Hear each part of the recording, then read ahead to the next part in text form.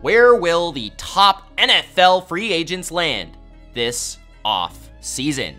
In this video, I predict the landing spots for the top 50 NFL free agents this free agency, giving you my prediction for their destination. My choices are educated guesses based on the schematic and financial fit, as well as my knowledge of the teams, its coaches, and its player preferences. Gronk, spike the like button and comment your opinion below. Let's begin. 49er ties with DeMeco Ryans, Patriot ties with Nick Caserio. DeMeco Ryans needs a leader for his team in Houston, and Jimmy G is adored by all his teammates. Garoppolo would make the perfect bridge quarterback for the Texans. He can allow the Texans to be more competitive in 2023 and also allow them to sit whichever rookie quarterback they choose in the draft. With Kyler Murray likely missing time recovering from his torn ACL, the Cardinals need someone to be a stopgap starter. The Cardinals hired the Browns' former quarterback coach as the new offensive coordinator. Huh, interesting. Jacoby Brissett was pretty successful inside that Browns offense. Not only was he successful inside that offense, but he is the expert bridge quarterback. Jacoby Brissett sounds like the perfect bridge stopgap solution for the Cardinals. After years of acquiring washed quarterback after washed quarterback, the Colts appear to be all in on drafting one. If that happens, Gardner Minshew makes the perfect bridge option. He played for new Colts head coach Shane Steichen, who served as the Eagles OC. He's got a great personality and deserves a shot given his underrated career stats. There may be questions about whether or not Orlando Brown can fit into the Bears' wide zone scheme, but they have a ton of money. Their number one need is to build the offensive line, specifically a tackle to protect Justin Fields, and hopefully slow down the outrageous sack rate. Also, keep in mind that Bears GM Ryan Poles was in Kansas City when they traded for the other OBJ. Kaleb McGary had an extremely low-key elite season in 2022, posting PFF's second best run block grade and fourth overall grade. I think the Atlanta Falcons will be all for awarding one of their own, a former first round pick who finally found a great home inside Arthur Smith's scheme. The Jets are all in on competing in 2023. There is only one problem besides quarterback, and that is the vacant right tackle position. Robert Saleh is familiar with Mike McGlinchey's game as a former 49er first round pick. He fits the offensive scheme, and if the Jets are going to swing for Aaron Rodgers, priority number one should be protecting him. The Titans need some tackle help really badly, but they can't afford to break the bank long term. Why not take a chance on the former first round pick Isaiah Wynn, who played really well when healthy before last year's weird scheme change in New England? Isaiah Wynn is an ideal fit for the Titans' power scheme. One of the indications of a strong Sean Payton team is a great offensive line. He did make Ryan Ramczyk the highest paid right tackle in the NFL after all. A young stout right tackle will be a priority, and given their lack of draft capital, Jawaan Taylor is the perfect candidate to help protect an aging, less agile Russell Wilson, whose protection may be more valuable now than ever before. The Jags have a clear deficiency their interior protection for the prince that was promised. If you are going to beat Chris Jones and the Chiefs, you need to make sure you have the best men for the job. Why not Isaac Seumalo, who might be the best guard in all of free agency this year, and he was drafted by none other than Doug Pederson. The Buffalo Bills need to get their offensive line right. I'm tired of watching collapse pockets in front of Josh Allen. Ben Powers can help boost the biggest Bill weakness. PFF's second highest graded pass blocker, who plays with power and an edge in the run game, something the finesse Buffalo Bills could use in their lives. The Cardinals only have DJ Humphrey signed on the offensive line. This offseason should be focused on building the line of scrimmage and protecting their franchise asset, Kyler Murray. Nate Davis is the perfect solution, a young guard who could hit his prime in his second contract, ranking inside the top 25 for PFF the last three years in a row. The LA Rams are tearing the Rams house down, but I wouldn't be surprised if they tried to rebuild from the line of scrimmage on up. LA has had serious issues protecting on the interior. Someone like Dalton Risner, who ranked inside the top 20 as a pass protecting guard, could help fix the foundation. I'm not even sure why I added Jason Kelce to this video. There is less than 0% chance the legendary Eagle comes back to football and chooses to play somewhere else. I mean, imagine him on the Steelers. Given how awesome he was last year, I think he gives it one more go. The New York Jets have a void in the middle of their already concerning offensive line. Connor McGovern should be back to hold down center in 2023. His constant availability is valued, along with his athleticism in the run game, which is a must to execute Nathaniel Hackett's wide zone scheme. If you want to be a great zone team, you need an awesome center. Ethan Pocic broke out in 2022 as the third highest graded center in the NFL with the Cleveland Browns. Bringing him to Chicago, a place that runs a similar scheme and wants to play a similar downhill style, seems like a perfect fit. Sean Payton loves a tandem of runners in his backfield. David Montgomery would make a great one-two punch with Javonte Williams. They both break a ton of tackles and can play on all three downs. Neither have breakaway speed, but both can wear down defenses. It doesn't hurt that the Broncos running back coach coached David Montgomery in college. I don't know about you, but I was not impressed by the genius Mike McDaniel's run game last year. He went from the run game coordinator of the Niners to the pass happy head coach in Miami. I kind of get the feeling he wants to restore some balance. Miles Sanders has the speed and vision to fit his zone scheme and has proven to be able to carry the load on the ground in an elite offense. At one point last season, it felt like no one could stop the human truck known as Foreman. I think he will garner some interest elsewhere, but the Panthers would be foolish to let him walk. The attitude and physicality Foreman brings as a runner gives Frank Reich's offense something similar to what he had in Jonathan Taylor in Indianapolis. Reich took pride in running people over there. I think he will in Carolina. I mean, come on. Who would not love OBJ back home with the G-Men? Odell is a superstar that plays best in big markets. And now that the Giants are back to relevance, Odell could be the wide receiver they need to take them over the top. The freshly signed Danny Dimes could use a veteran wide receiver. Odell could be that guy once again in New York. One of Nick Caserio's savviest undrafted pickups is now available on the open market. Jakobi Meyers is a reliable playmaker who simply finds a way to get open and is a great fit for any team wanting to build a strong culture. Jakobi Meyers can provide a security blanket from the slot to the Texans' chosen franchise quarterback. DJ Chark has an intriguing skill set. He's 6'4 and can absolutely fly. The Carolina Panthers could use a number two receiver who can take the defense's attention away from DJ Moore. Chark has shown flashes of game-breaking ability and could be a huge boom player for not a lot of investment. Whether they keep Lamar or not, the Baltimore Ravens need to quit playing around and bring in some NFL wide receivers. Juju is a perfect fit for their style of play.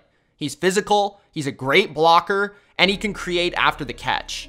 Juju is the reliable chain mover from the slot that the Ravens need. It appears the Packers are all but done with Aaron Rodgers, which means that they have a lot more cap space. One of the advantages to not having a Hall of Famer is all the money you can spend on other positions that you don't typically have. Enter Dalton Schultz, a savvy route running tight end who can find the holes in the zone coverage, a perfect safety blanket for young Jordan Love. The move tight end, who is basically a wide receiver. That doesn't work in every offense, but it does work in Frank Reich's offense. Evan Engram was rejuvenated in Jacksonville under Doug Pederson, I could see the same thing happening with Mike Gesicki in Carolina. He's a monster, six foot six with quick feet for a big man he will be a huge upgrade to what has been an irrelevant position in Carolina since Greg Olsen left. I think Seattle will target a big name in free agency. They have the money and the draft picks to really go for it in 2023. Their biggest need, though, is pass rush, specifically a push from the interior. Javon Hargrave has proven that he can succeed in any scheme, from the Steelers to the Eagles. Coming off an 11 sack season, he gets paid to bolster the Seahawk pass rush. Brian Flores was hired to help turn around the absolutely horrendous Minnesota defense. And if he has it his way, he will want some beef up front. One of the first things he did in Miami was draft Christian Wilkins and Raekwon Davis. Two stout interior run defenders. That is why I believe Dalvin Tomlinson's giant presence in the middle will remain a key piece to the Vikings' future. Practically the entire Lions organization is a disciple of the New Orleans Saints, from Dan Campbell to Aaron Glenn. One of their great finds was David Onyemata. Onyemata can be the player Michael Brockers never was and help stabilize the shaky Detroit run defense that ranked 30th in 2022. If Fletcher Cox is going to leave Philadelphia, his new home must have a familiar feel. Jim Schwartz is back as the defensive coordinator in Cleveland, and Fletcher's prime came inside the Jim Schwartz scheme. Cleveland could badly use an interior disruptor who can rush the passer, but more importantly, strengthen their run defense. The legendary Eagle could be playing next to Myles Garrett in 2023.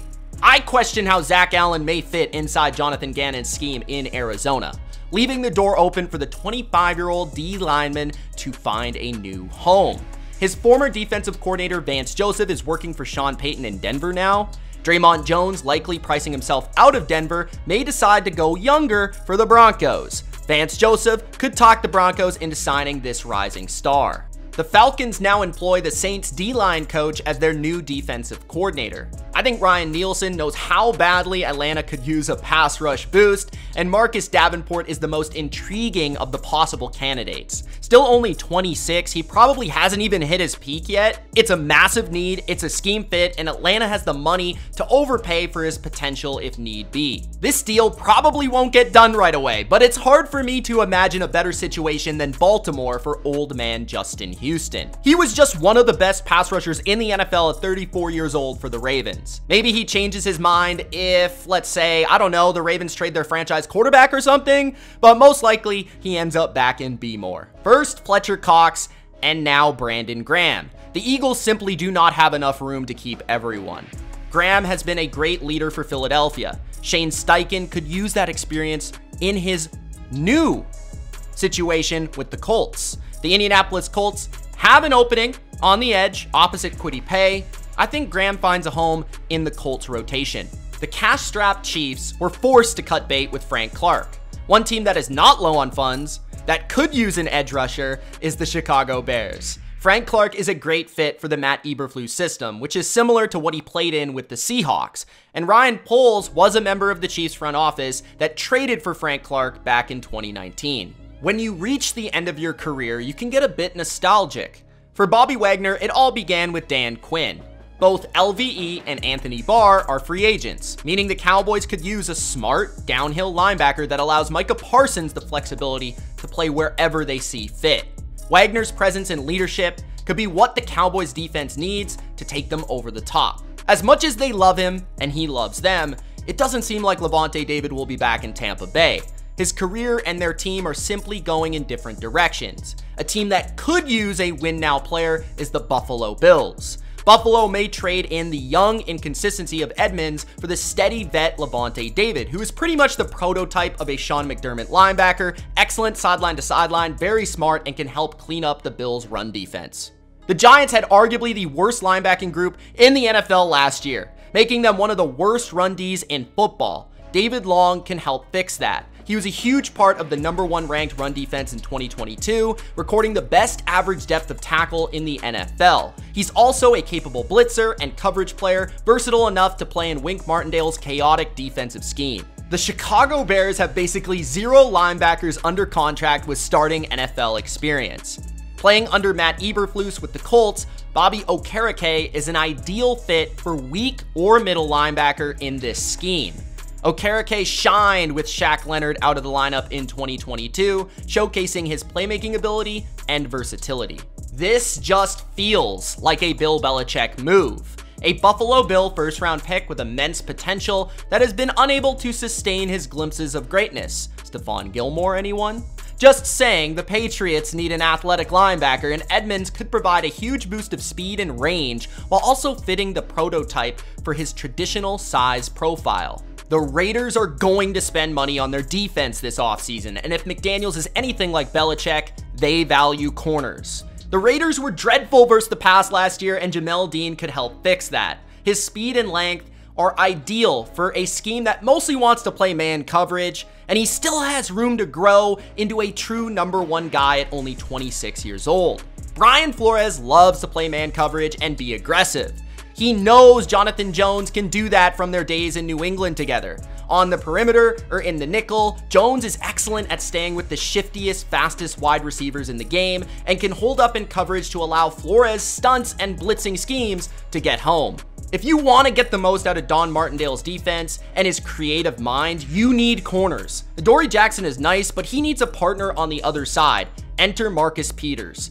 Peters excelled inside this scheme with Martindale in Baltimore. He has a giant personality that suits New York and can add some swagger to a defense that could use a little bit of a spark. The Detroit Lions are past the rebuilding phase. They're past only adding young players. The Lions need to reach out to some veterans to help fill some of their biggest weaknesses.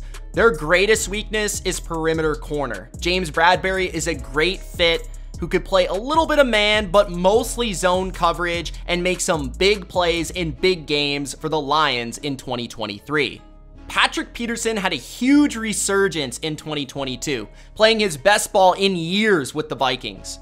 It would be a different scheme and a different defensive coordinator, but Peterson is no stranger to playing man coverage from his days in Arizona, and I think Pat Pete's presence is too important for them to let him walk. The Miami Dolphins have been searching for a competent nickel corner for forever. Bryce Callahan may be the man they have been waiting for.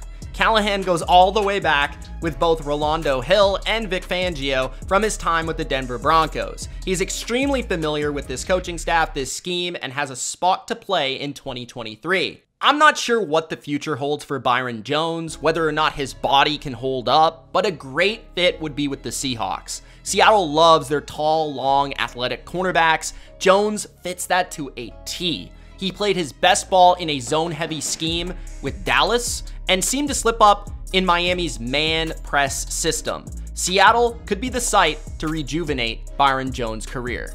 Jessie Bates seems close with a core of players in Atlanta already, seen at dinner with AJ Terrell, Casey Hayward, and Kyle Pitts. The Falcons badly need a safety upgrade, especially in this new New Orleans-esque scheme. Atlanta has money to burn as well. Jessie may take the Bates in Atlanta. The Philadelphia Eagles simply cannot let Chauncey Gardner-Johnson walk. They traded for him for practically nothing, and all he does is lead the NFL in interceptions in just 12 games. Not only that, but he can be a foundational piece for this secondary for years to come at only 26 years old. He has all the makings of a leader for years with an attitude that Philadelphia fans love. The Bengals can't afford to lose both Bates and Bell, one of the best safety tandems in the NFL. And Bell has arguably been the team's most valuable of the two, considering all he does for the defense in both coverage and run defense. The man is simply everywhere, and he's extremely reliable and consistent. Vonn Bell stays a Bengal. I don't know what it is about this one, but it just feels right to me.